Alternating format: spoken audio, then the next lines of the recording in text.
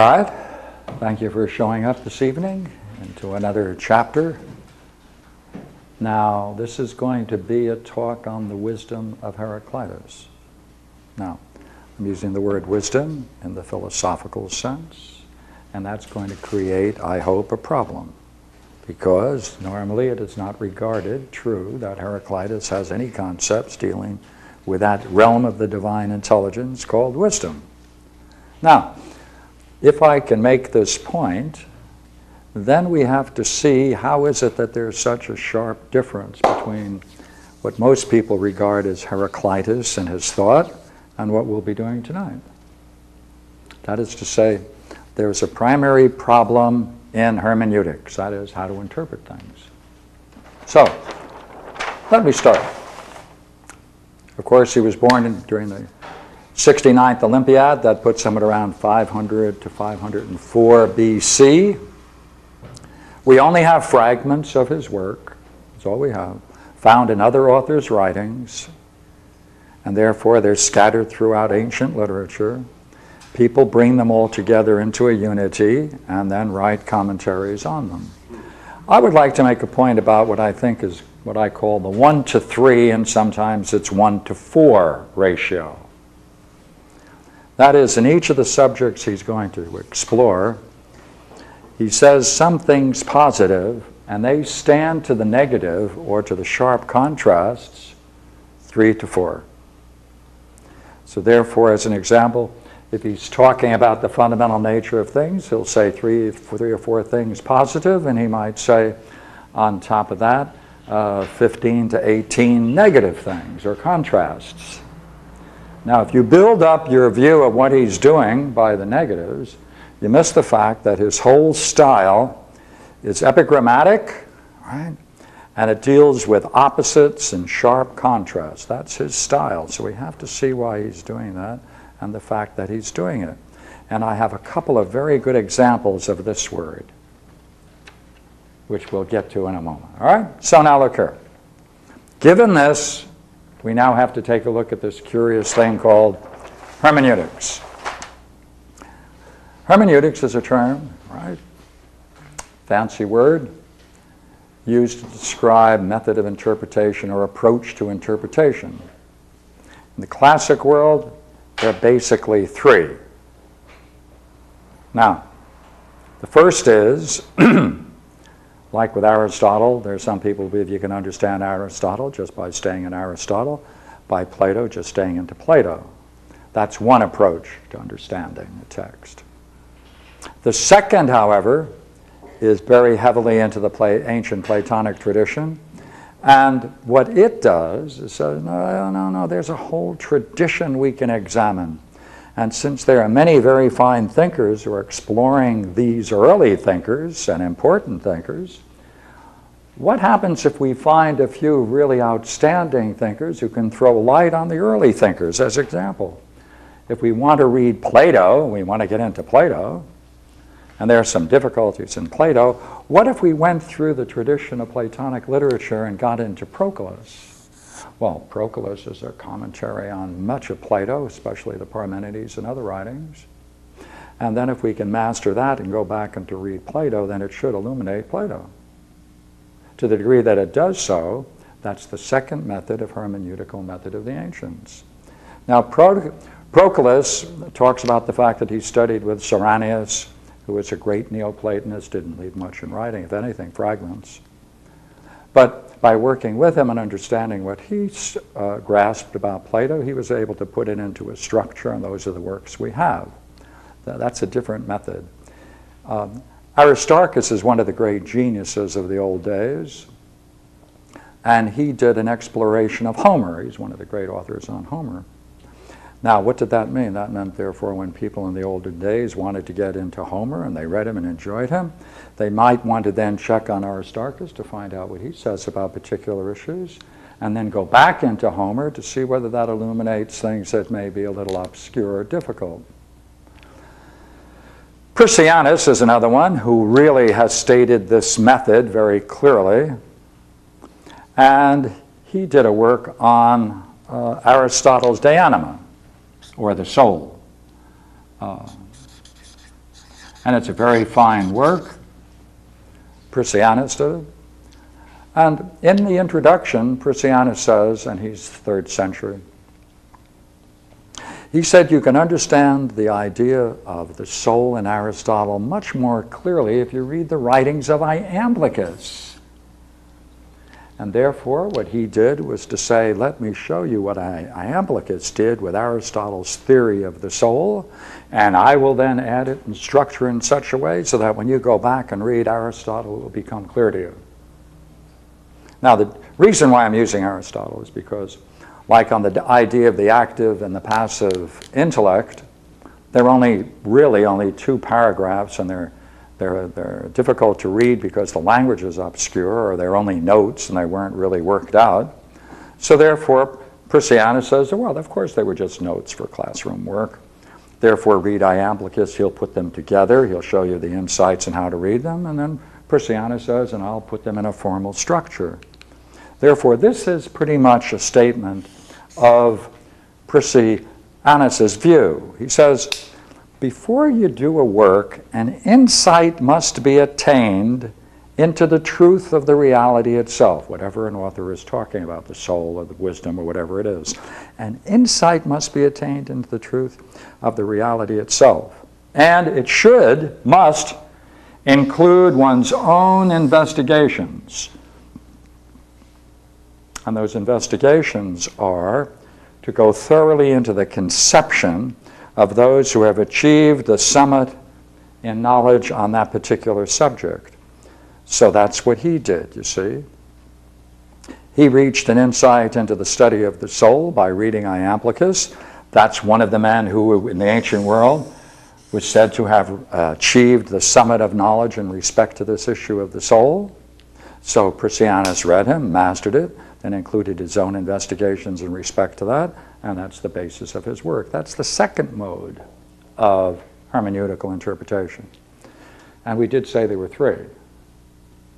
The third is what Procol- pardon me, what Plotinus and Syrianus does. They incorporate the work and use it as a vehicle for seeing themselves. It's not a scholarly treatment, it is opening up their own mind to this kind of exploration, and they are then the primary investigators. And then through their own achievements, they then see things in a sharper way, and therefore uh, can be said to develop their own kind of hermeneutics based upon their own reflections of the text and their own inner experiences. And they try to bring it together to throw light upon ancient authors whom are most important to them. Those are the three methods. Now,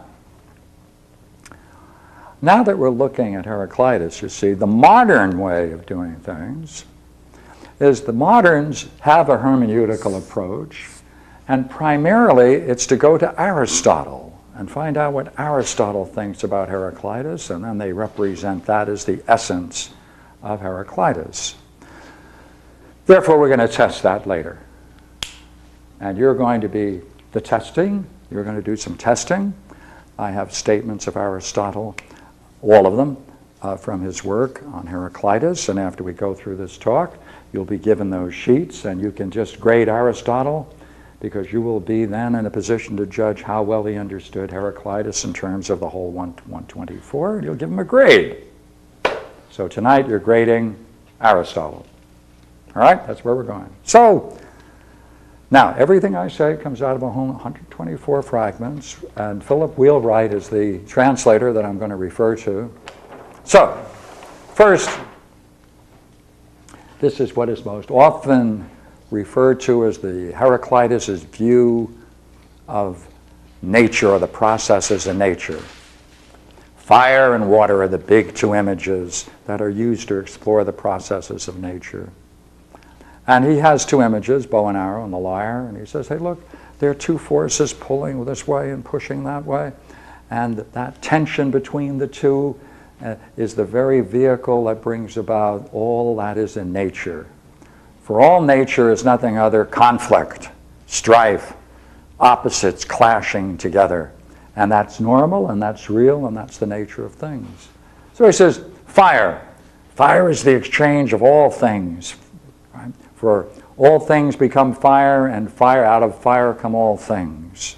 Fire throws things up and out, and it gathers things in. So there are two forces, you see. Two forces. And then he has the way of understanding if you now take this now and the way in which we used the terms last week, these are not literal. Right? The elements are not literal, they're principles that are represented by these terms. Therefore, fire lives in the death of earth. Earth is anything solid. Earth is anything solid. So fire lives, right, in the death of things that are burnable. Right? That's what it does. Fire lives in the death of wood. Fire lives in, the, and since anything can be consumed in a hot enough fire, therefore fire lives in the death of earth. Oh, curiously enough, air lives in the death of fire because out of the fire sweeps up air, lofty as it is, pushes up into the heavens. Right? And what happens with air? Why, uh, as notice we have an analogy. As fire lives in the death of earth, so air lives in the depth of fire, as water lives in the depth of air, and as earth lives in the depth of water. Right? So these are processes. These are processes through which, see, these are, pro- these are stages. These are all stages in the process of nature. Nature then goes through each, transformative, and in that transformative aspect, he says, I think I know what that is behind it all. That's the principle of fire. then, of course, he then takes this view with water, as, right? And he says, hey, you know what? The very flow of water, everything flows, nothing abides, everything changes. So he takes that view, which is very interesting. If you take, the, take a, a motion picture, uh, right, of any process, speed it up or slow it down, you get a whole different view of the way in which the thing moves and grows. So if we could see in one month the whole evolution and destruction of the earth and our heavens, you would see something coming into being and passing out of being, much like a great flow. So he says everything flows, nothing remains in itself. Everything gives way to everything, nothing stays as it is. So that very essence in the social condition is war. War is just nothing other than the same process going on in nature, It goes on endlessly, it's strife. Therefore, everything comes to pass through the compulsion of strife. Strife is natural. And therefore, in one day you can become a king, and the next day you can become a slave. Everything transforms. And he says, as you consider it, he said, that's why you can't step in the same river even once. The river changes, you can't step in the same river. It's changing, the water changes, everything changes. So you can't even say you step in the same river once, much less twice. This is his view of nature. What's at variance with itself is always with itself.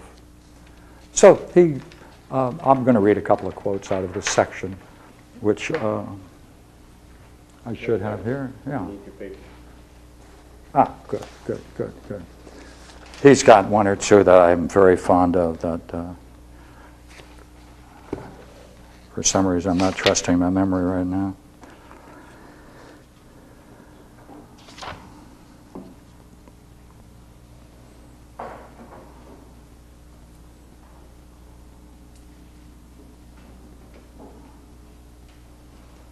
The fairest universe is but a heap of rubbish piled up at random.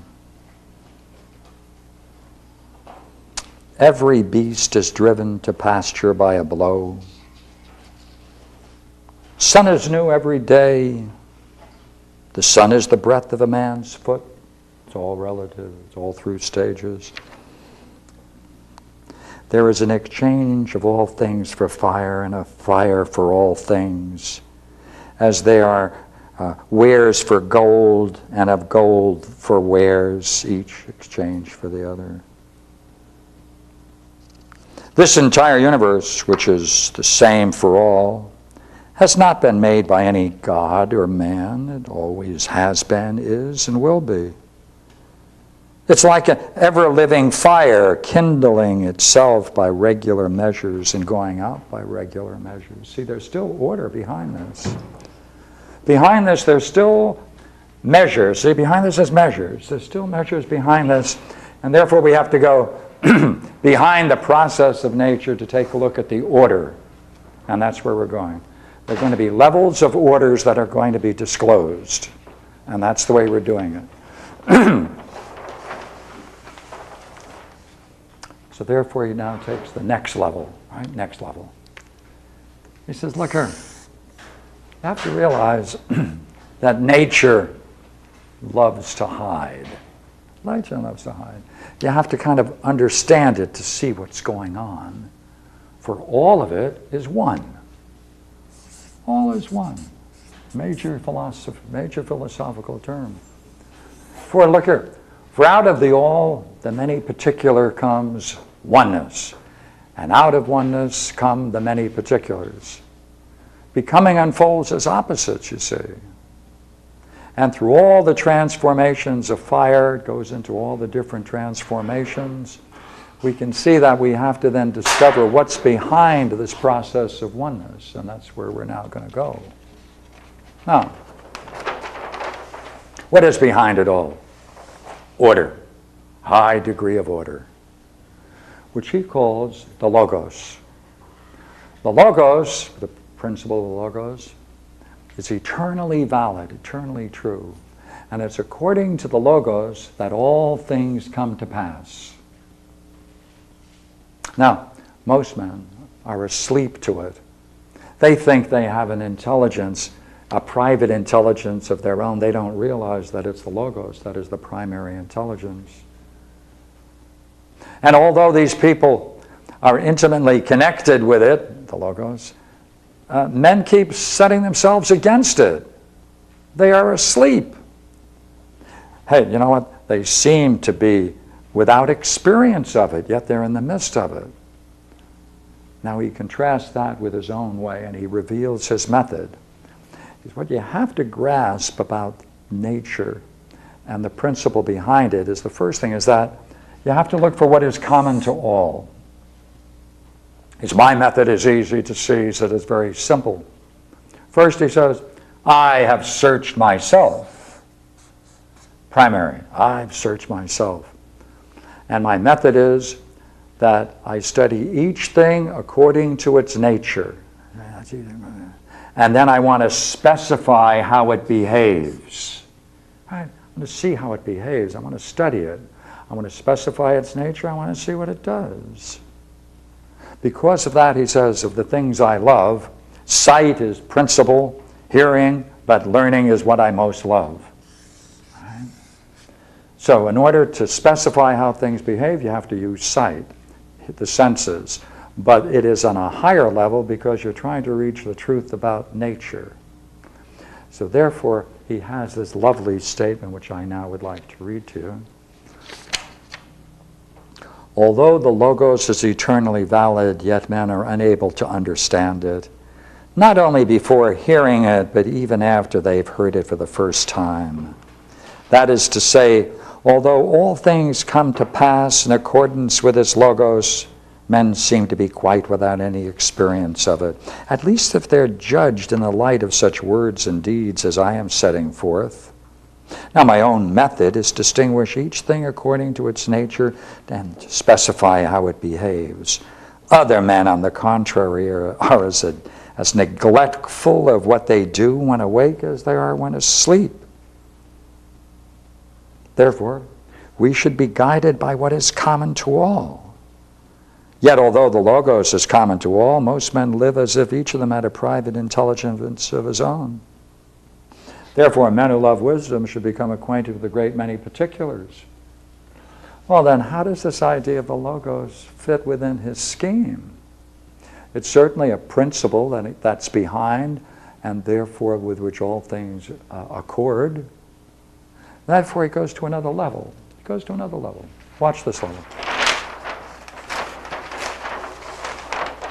He says there's a hidden harmony. That's the problem. There's a hidden harmony.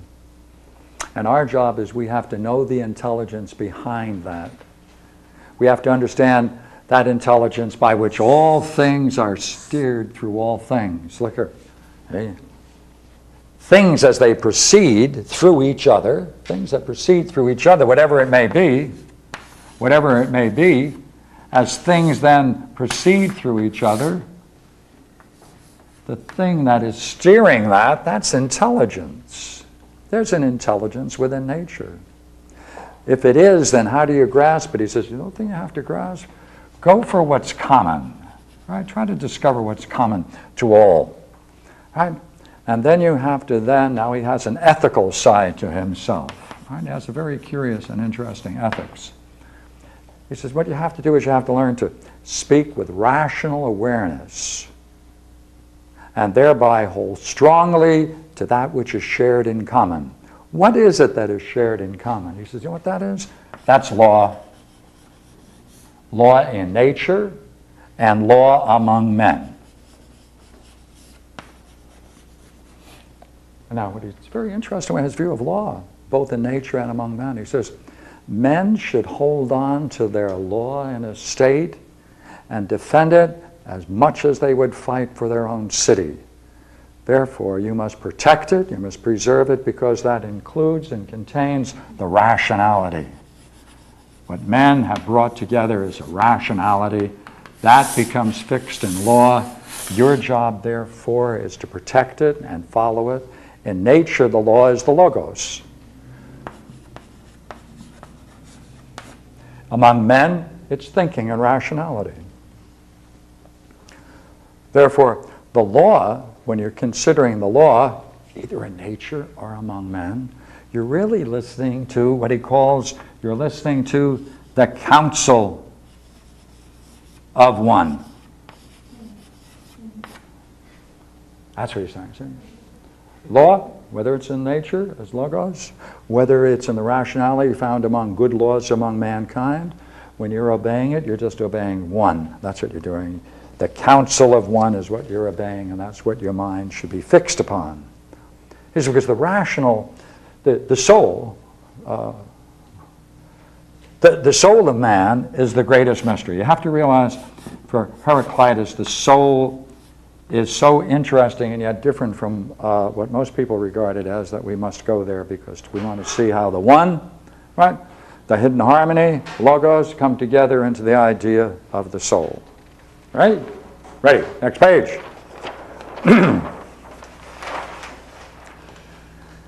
Here's look here. Only the divine nature has real understanding. There is no understanding in man. Only the divine nature has it. Human nature has no real understanding, only the divine does. Therefore, Heraclitus really has a theory of participation. Because that's what it means. It's a theory of participation. There is only intelligence in what encompasses man. See, what's around him. Right? And that's the theory of participation. He said the difficulty is that men don't understand it and they block it. And they block it, and he has a great expression to understand why men don't see this. He says, What is divine escapes men's notice? And it's only because of one thing, because of their incredulity. Pardon? Yes, yes. It's because of their basic beliefs, their incredulity. They don't believe it. That's, that's why they can't see. You have to know what you see before you can see it. I mean, you can't see it, you can't recognize it before you know it, but you have to know it before you recognize it, then you can see it. Right? So this is the way in which he brings you into that development. Therefore, going back now to the idea of man, man's character is his true guardian divinity. And therefore, a wise man or the soul of a wise man, is nothing other than a beam of light from the divine. Right? That's what he calls it, a beam of light. Right? That's, it. So you got to struggle for those.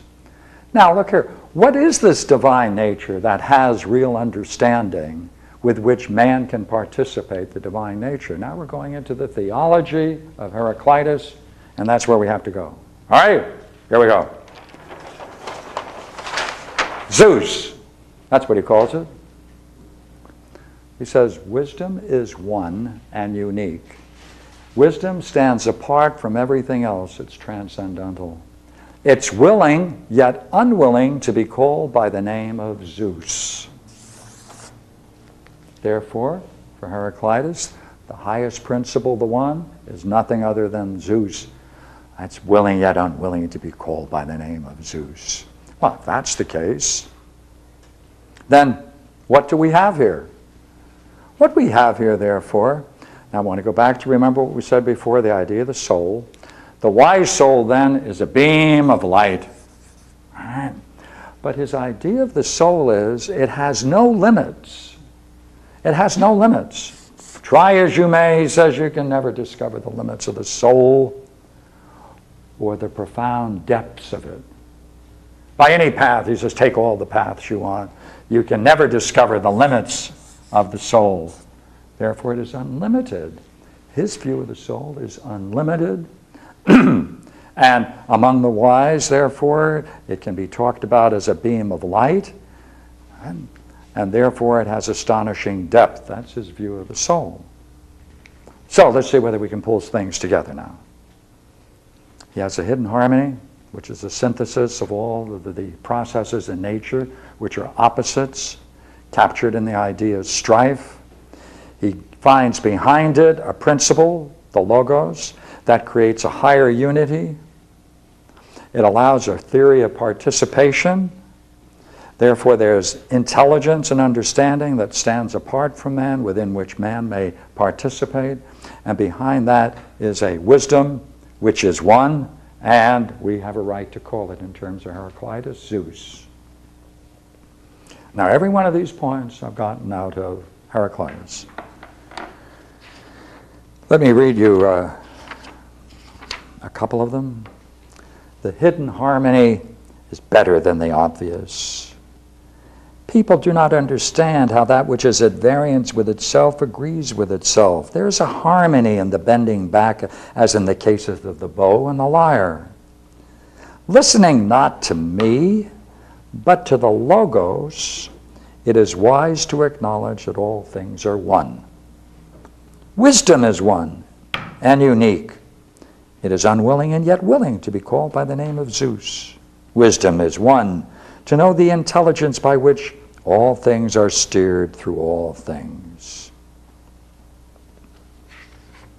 Now, I could now multiply the other side of this where he makes fun of people who, who do not accept his view, and that multiplies his work by three or four.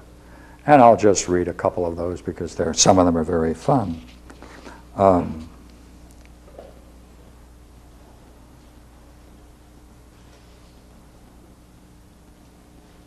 Men are deceived in their knowledge of things that are manifest, even as Homer was, who was the wisest of all the Greeks.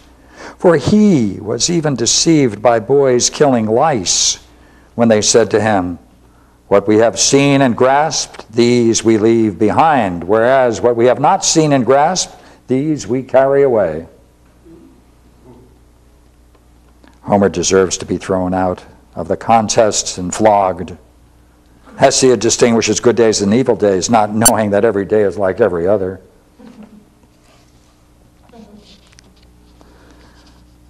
Human nature has no real understanding, only the divine nature has it. Man is not rational. There is intelligence only in what encompasses him. Uh, now, the negative side people. They pray to images, much as if they were to talk to houses, for they do not know what gods and heroes are. Night walkers, magicians, Bacchanites, revelers, participants in the mysteries, what are regarded as mysteries among men are unholy rituals. So he has many of these. Um, Although it's better to hide our ignorance, this is hard to do when we relax over wine. A foolish man is a flutter at every word. Fools, although they hear, are like the deaf. To them, the adage applies that when present, they're really absent. Bigotry, sacred disease, inflicts all men. So he has all of these epigrammatic statements and they multiply the work, but they make fun of the other side by three and four. Now, if you are convinced by my quotes and my references to our good friend Heraclitus, I would now like to do something else. I would now like to look at Aristotle. And you are now going to be given these are the set of terms and ideas from Aristotle. Pardon me, Heraclitus. Pass one around.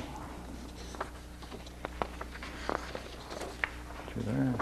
Should I give you one here? Come on. They don't want to come apart. Here they are. Okay. Now, most people understanding of Homer, uh, pardon me, of, ooh, there I go again. Heraclitus is drawn from our friend Aristotle. Now there are,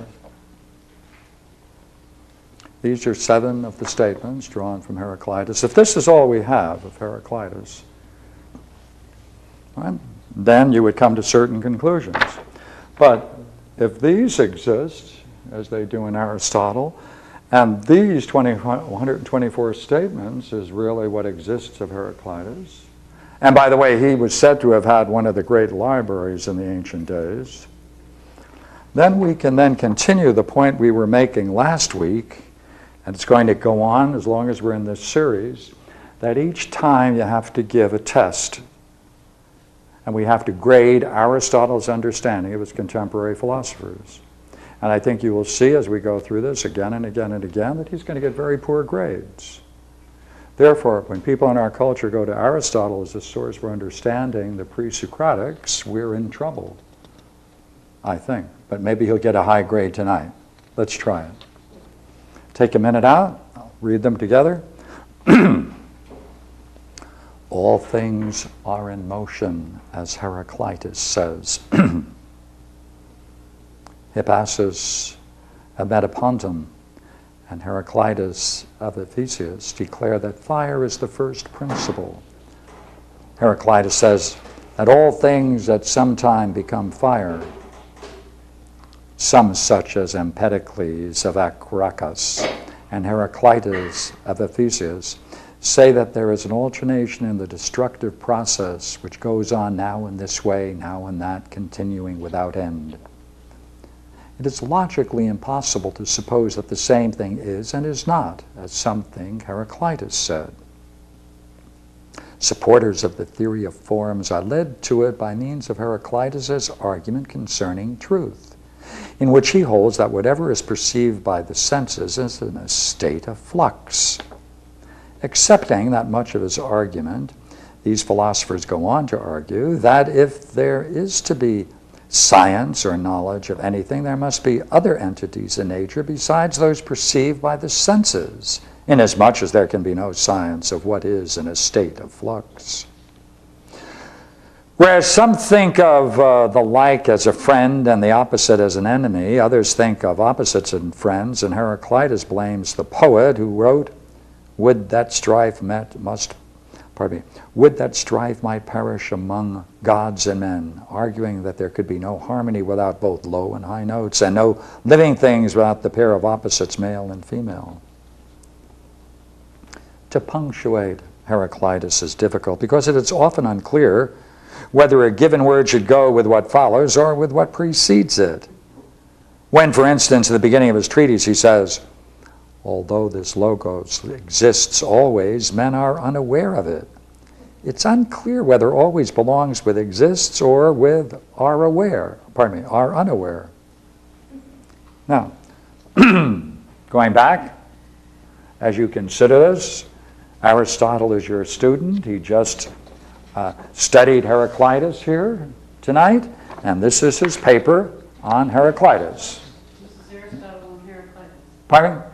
Aristotle on Yes, this is all Aristotle on Heraclitus. These are all the quotes from Aristotle on Heraclitus. He is one of your students, and you just gave him a talk, just as I have here on the board, and he just gave you this paper as a summary of his good work, and you are now going to grade it. Right? Okay, take a minute out, give him a grade. Are you saying that all things are in motion, as Heraclitus says, is not Heraclitus Arist- these are all quotes from Aristotle. about dealing with, presumably quoted from or references to Heraclitus. I, I still don't see. All things are in motion is not a quote from Heraclitus. Pardon me, doesn't say as Heraclitus says? Yeah, That's all we have. okay. That's what Aristotle, but I don't see that here. Well, I don't mind that. But yeah, how about this point? Is this clear? This statement can be found in Aristotle. I can give you the reference to it. And it deals with Heraclitus. Heraclitus came here tonight, and he made these notes about the writings of Heraclitus, and I'm asking you to grade them to see how well he did in the study of Heraclitus. On the first point, it seems like it's okay, since Heraclitus says everything flows, nothing abides. Sure? Yes. So, So, He gets a couple of points. a point Fine. on the first one. fine. Second one is no good, right? The logos, everything comes from the logos, or maybe I misheard.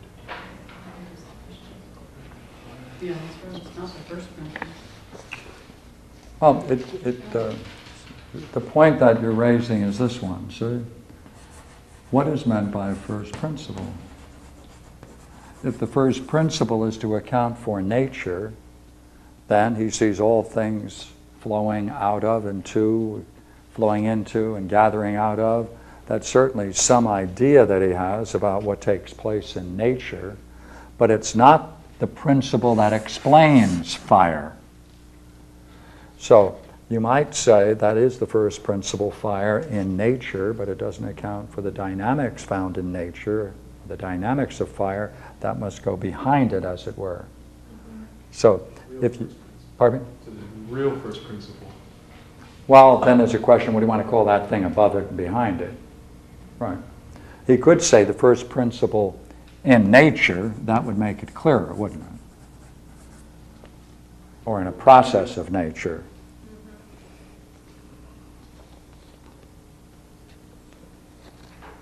Right, as the next statement says, Heraclitus says that all things that sometime become fire, all things can be consumed by fire, and return, and come out of fire. We would say the same thing through the bursting of the sun and the uh, all of the planets are nothing other than spinning fireballs out of the sun at some point, and then it will likely to be caved in at some future time, and therefore everything is generated out of fire and will return to it. There is an alteration, change back and forth into destructive processes which go on now in this way, now that, continuing without end. That's, that's there, isn't it? Still in nature, isn't it? He's still in nature, isn't it? Right? Still in the processes of nature.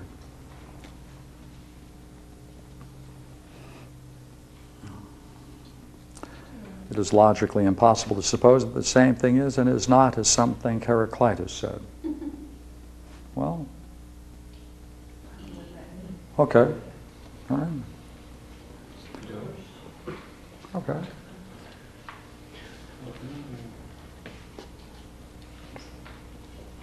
Now, there are three other statements, they're long paragraphs.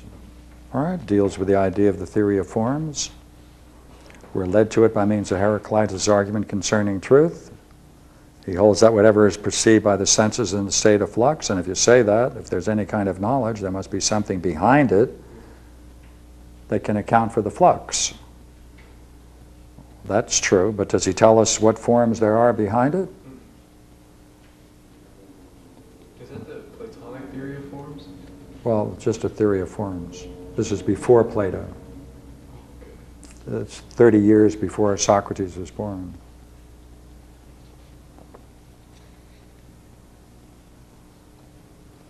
So while that's true, does he link it to it? Does he link it to the theory of forms? All right. Third, nec- all right. Whereas some think of like as a friend, the opposite as an enemy, others think the opposite as friends. All right. Then he quotes Heraclitus, blames the poet who wrote. All right, so he's just quoting from a poet at that point, is he not?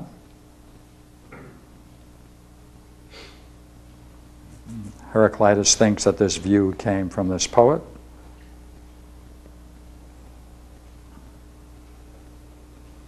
Right, so, Partial one. He's- Okay. he's good there. No, he stays on one level. and you can uh, take the last sentence now. To punctuate Heraclitus is difficult. He gets into the grammar. It's a question even whether there's a difficulty with it, but, okay. Now, um, what percentage would you say of the ideas that we were covering tonight does Heraclitus cover?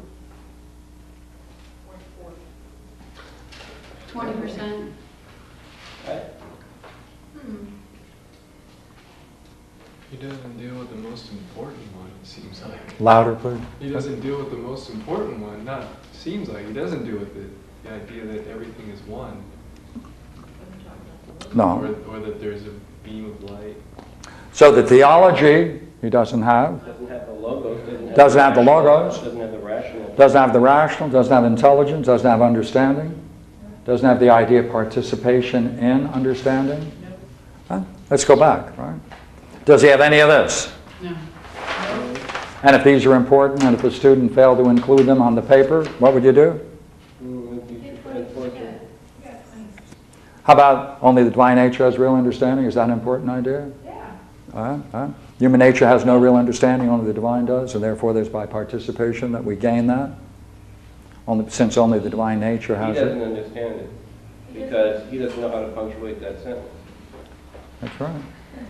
That's very important, by the way. If he knew how to punctuate, if he understood it, he could probably punctuate that sentence. Yeah, Although, if I knew how to understand it, I'd probably. But he still stays at the level of nature all the way through, he never, never goes above. Well, let's, let's take that English problem with a grammatical problem and take a look at it in a minute, all right? All right. Uh, does he also have a view of mankind? Is he continually opposing one view against the many? Does he bring that up in his uh, statements? Then he doesn't have that tension between the two that plays a major role in his thinking? So therefore, that's missing as well? Huh. Uh, how about man's character as his guardian deity? Ah, and man's soul is like a beam of light. Ah, the hidden harmony. No. See, you have to know the intelligence by which all things are steered through all things, right? He thinks everything's what? Hmm. Thinking is common to all. How about the idea of law? Was that significant? Idea of law and nature. Behind all nature is the logos. That same principle, which is common to all, can be found in man and law. Significant? Fight for your law as if for your own city. Right. Um, I, I don't know anything about this stuff, but I've heard of the like chaos theory, just heard of it. Is this at all similar to that, that like behind all these things that seem inharmonious, that there's a harmony? That's what he's saying, isn't it? But? I mean, you know, that, that, with the chaos theory or whatever? I, especially the whatever. Yes, if you're talking about chaos theory, chaos theory is a way of talking about that behind chaos there's a higher degree of order. That's right. And that's very similar to That's this, very or true. is there, Yes. is there differences in it, or? It's, well, th- th- there might be differences to it, but this is so sparse, we only have 124 quotes. And uh, there are actually only 30 quotes, and only uh, six deal with the idea of hidden harmony. It'd be difficult to set up, therefore, a direct comparison between chaos What kind of theory. people, were they mathematicians, or This is no, no. what? Oh, no, I meant. We're talking about people- 500 BC, But I'm saying the chaos theories, that was that? sprung out of mathematics. Math? Yeah, math and theoretical physics. On physics? Yeah, Oh. yeah, yeah, yeah. Especially at the University of Santa Cruz. All right, all right, okay, how about this? Give him a grade for this, or did he miss this page? Missed that one. Miss-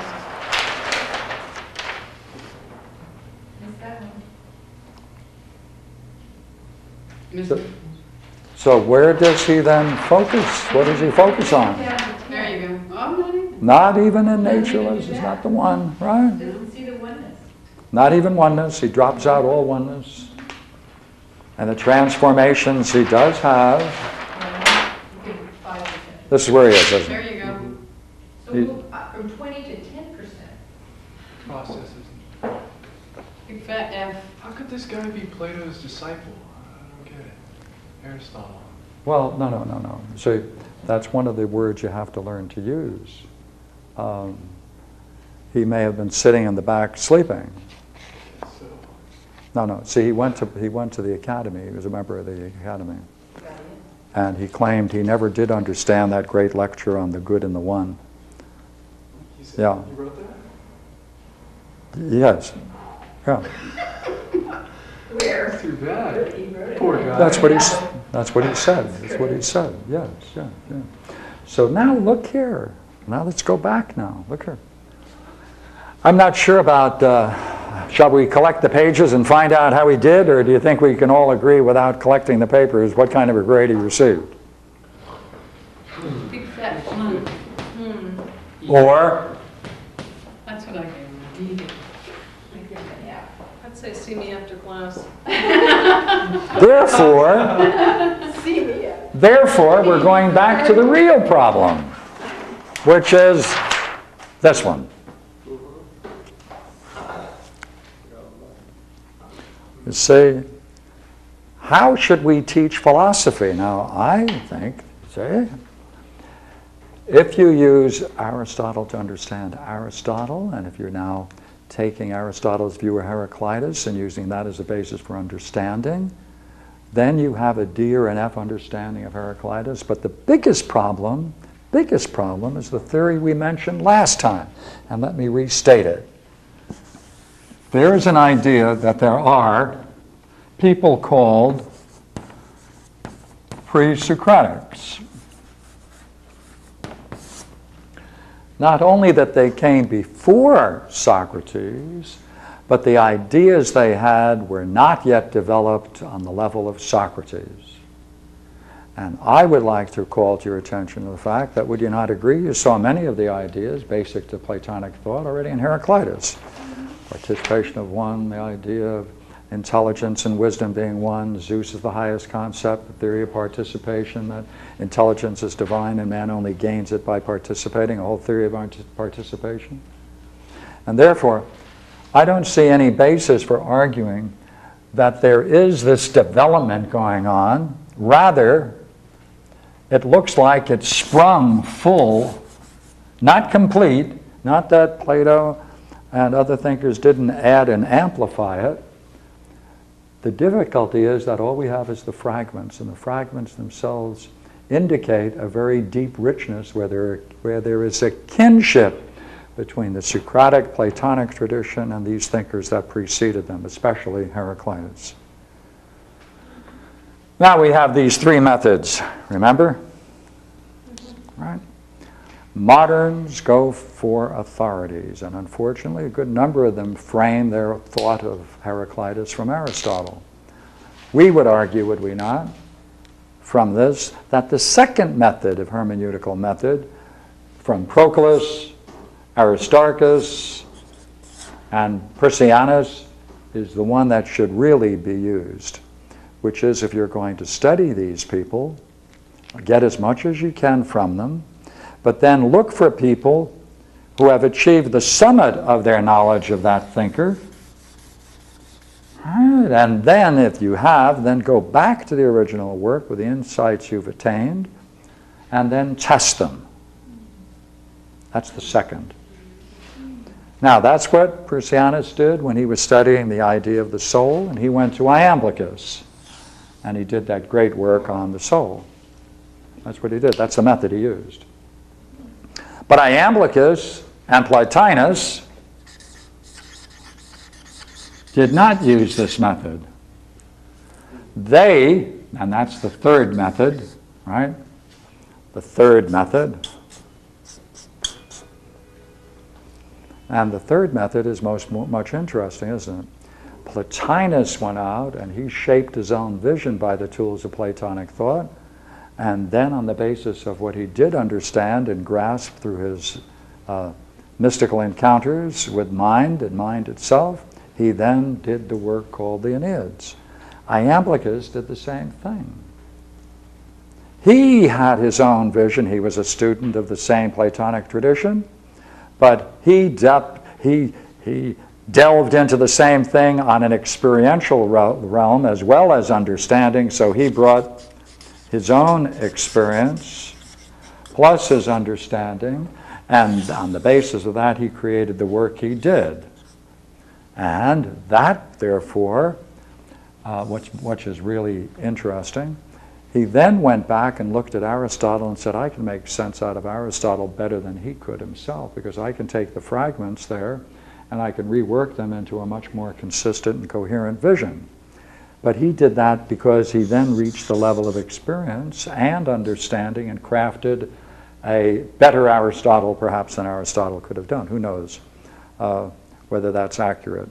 But you can certainly say he added a great depth to it. Same thing with Plotinus. Now, Proclus did not. Proclus did not. It doesn't come out of his own experience. It comes out of a great deal out of Syrianus.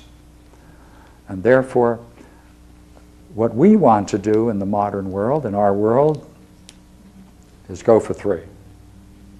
Train people for vision, bring them back into the wisdom tradition, let them go through these works, let them take advantage of one, two, develop three, and gain and continue this wisdom tradition. And that's the goal of, I, I believe, true philosophy. Proclus didn't have experience and understanding? I didn't Oh. say he didn't have understanding. Okay. I said that his, his, he continuously says that he's drawing on people who came before him, especially his teacher Syrianus. In the end of, uh, at the end of the Parmenides, in what's called the K section, he does talk about the need for individual experience, but he doesn't bring that to us. And um, though he does acknowledge the need for it, and if you want to take a good look at it, I would recommend you looking at it. It's called the K section at the end of Proclus's commentary on Plato's Parmenides. There- There's a, there is a possibility of, of understanding this material without experience? I don't hear, without what? Without experience, understanding? That's what, wait a minute, wait a minute. Yeah, yes, of course. Is there a way of understanding this material without experience? Yes, that's writing commentaries on what pe- other people have said and thought. That's what we do in the colleges. That's what they do in the colleges. No one says what you must do is sharpen your intellect to the point where you can use it as a vehicle for seeing, so you can see things similar to what Plato, Plotinus, and Proclus saw, and these people saw, and then take, the, take that vision you, you've had or that uh, experience of the nature of reality and craft it back into this tradition, so you can then express what these former thinkers thought in a much more interesting and varied way, perhaps enrich it. No, we don't do that in college or university. So I could, yeah. Here are your assumptions. how could you understand Plato and not have insight? That's easy. Just go to any university and they'll bore you to death. Yeah, but that's not understanding though, is it? Yes, it is. It's a kind of understanding. It's being able to say what, well, and in, in, many cases, you don't read Plato in many universities. The instructor will tell you what Plato says, so it's one step removed from it. But in the classes where you can do it, you're not encouraged to look for the method of Plato, to explore it yourself. And then come back on the basis of some enriched experience, write a commentary on it. That's not normally done. And a matter of fact, I don't know any school where it would be acceptable, unless it was a rhetoric class or English composition. We train scholars. We don't train people for vision. Yeah, I can understand. That's the purpose of the university. But I'm understanding that you're saying Proclus does not, didn't have the experience, or am I misunderstanding? If you read Proclus, you do not hear him, read him, you don't see in his comments that this comes from his own vision. When he does talk about people and vision, he talks about it from other people, especially his teachers. In the end of, as I said, at the end of the conclusion of the Parmenides, look at section K, where he does talk about the need for experience and he outlines what he thinks is a method. He does not say that he exploited it on that level and went back into the text and found this and that because of that experience. You might, you might assume it, but Plotinus does. Plotinus says that's what he did, right? Like there's a of the soul. Yeah, and the, and the uh, yes, and the Descent of the Soul, and and many other places, and Beauty on the one. He adds to it immeasurably out of his own experience. I, I'm just, I guess I'm puzzled as to even, if he is quoting and he is making commentaries and using other people's um, expressions, Proclus that is, that there isn't a, a degree or some kind of a level of experience that goes along with that, such that it is intelligible.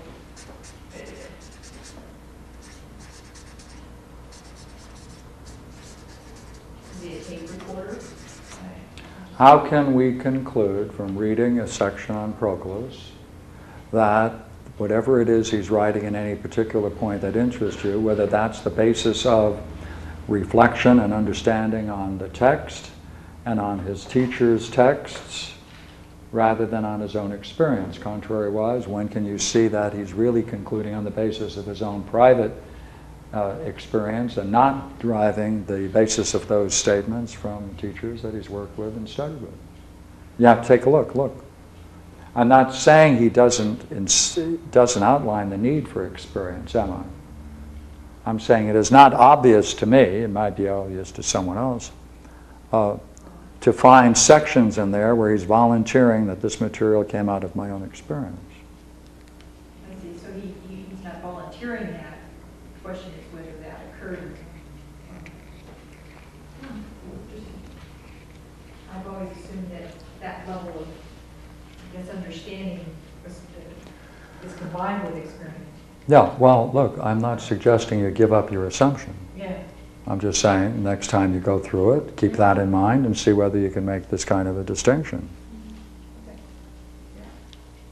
See, especially if you're thinking about the uh, Proclus's commentary on the Parmenides, a good part of his commentary on Parmenides is line by line by line by line.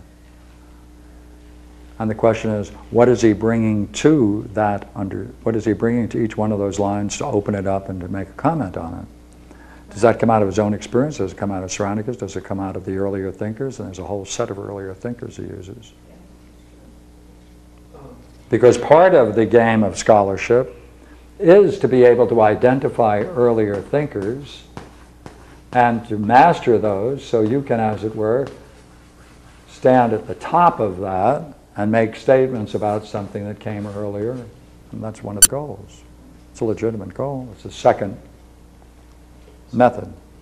When um, Proclus writes about the arche of light, is that based upon uh, commentary on, on a section in Plato, or is it, or is he saying this is how things are? Well, you see, now you're in, you moved from the Parmenides to the theology of Plato. Yeah. I thought that was in the commentary. Well, that's where the whole, a great whole section is on uh, the procession of light. Uh-huh. All right, okay. Again, we're back with the same question, all right? Watch. How can we conclude that some section is the result of the author's personal experience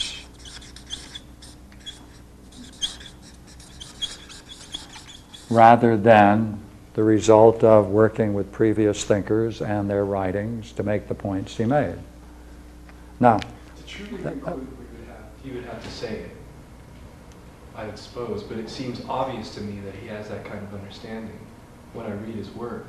I mean, in the introductory invocations to the theology of Plato and uh, the commentary on Plato's Parmenides, he uh, exhorts that the gods enkindle a light of truth inside of him, inside of his soul, right? That's true.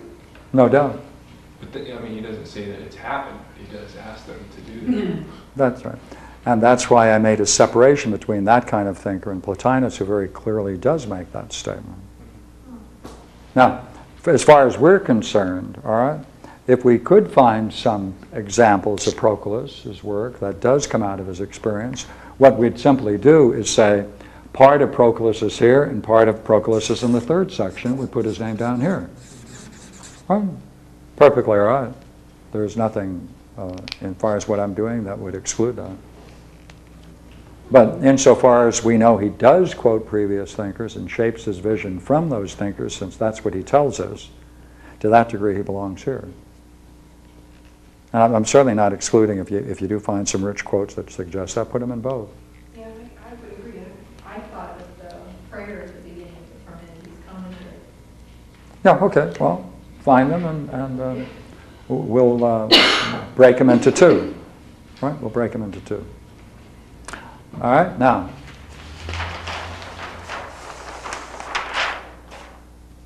Hundred twenty-four fragments, we pulled out about a third of them, right? We structured them in the way in which we did in order to justify the claim that there is a wisdom of Heraclitus.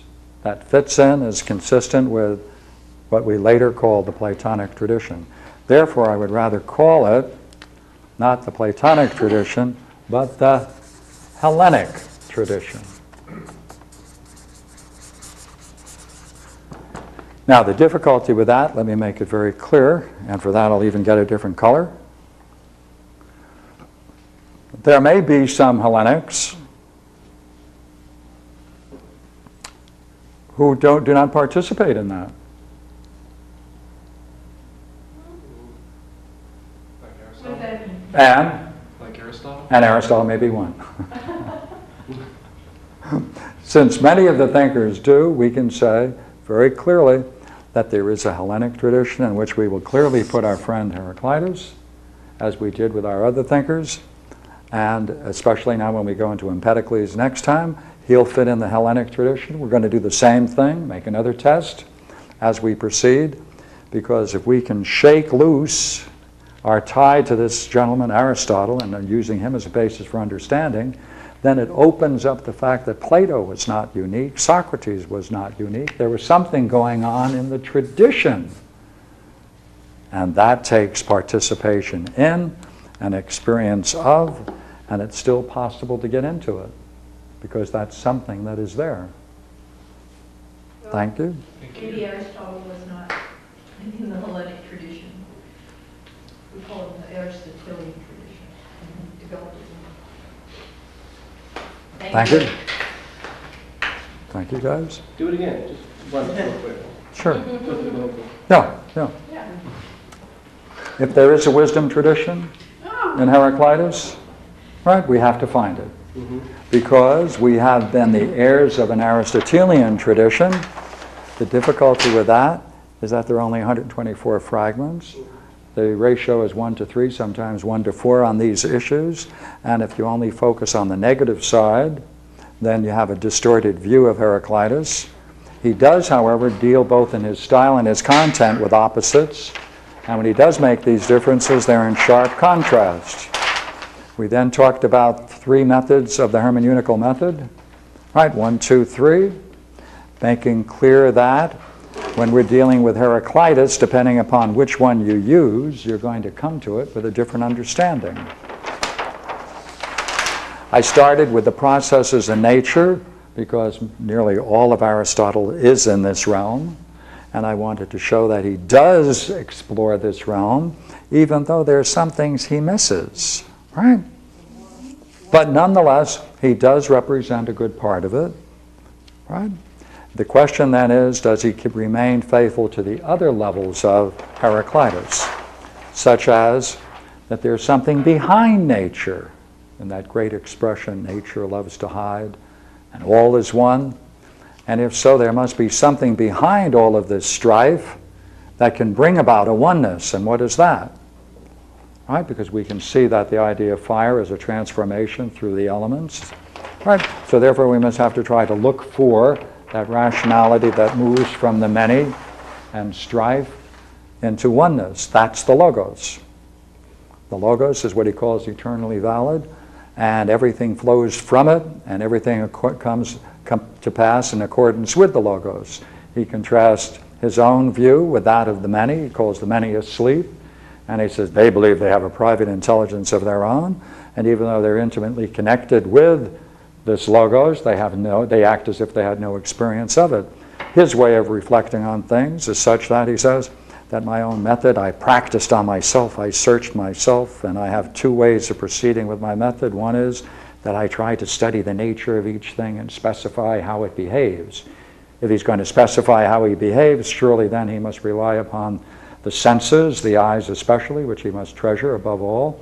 But he also says, apart from eyes and ears, he treasures most often learning as central and highest of it all. Right? And therefore he seeks to reach for this truth behind things. Well, if you do have this logos, what does that depend upon? Does it stop there? Does he go behind it? He says, Good heavens, there's a hidden harmony. You have to discover it. Right? And if you do, then you'll discover the intelligence behind which the logos functions and by which all things are stirred through all things. Remember this beautiful diagram I drew? I was impressed by it myself. Then on the other side, as he goes from the logos, which is common to all and all nature, he also has the idea of a oneness in man, common to all mankind, and that's law. He says law, especially rational law, law is something so important, it's a one, and therefore you must guard and protect your law as if you were protecting your city. For if you listen to the law, rational law, that's like listening to the counsel of one. So he ties in the idea of one to law and to nature and the hidden harmony behind it, and that's an intelligence. What's the nature of that intelligence? He says, Well, I'll tell you what, man doesn't have it. He can participate in it because divine, the divine nature has real intelligence and man has none. Therefore, the only way he can gain it is by participating in it, which he expresses in a very interesting way. He says there's an intelligence only in what encompasses mankind. Right? And that's a kind of participation, is in, in, right? And he said the problem is, what is the, what is the difficulty we have? It's only one thing. The divine nature escapes men's notice because of their own basic incredulity. They don't believe. They don't. It's their beliefs that are blocking them from vision. Therefore, if you are straightforward in your, your being and you lack this uh, incredulity, then you know what? You'll have character. What is that? Well, that's to have a, a divine guardian. For a man's character is his true divine uh, guardian. Therefore, if that's the case, then the wise man is nothing other than a soul that is nothing other than a beam of light which reflects the nature of that higher reality. Right? Then we said, look here, how does the divine nature and real understanding connected with and with what's beyond that? Oh, he's a Zeus. So there's the theology of Heraclitus. Though he puts a caution, you know, Zeus is willing yet unwilling to, uh, the one is willing yet willing, unwilling to be called by the name of Zeus. Wisdom, can be, you can call it Zeus. it's willing and unwilling to be called by the name of Zeus. Unique is the one. Unique, right? And wisdom stands apart from all else. It's transcendent. It's above and beyond all else. And therefore, it stands as a divine element, a theology above Heraclitus.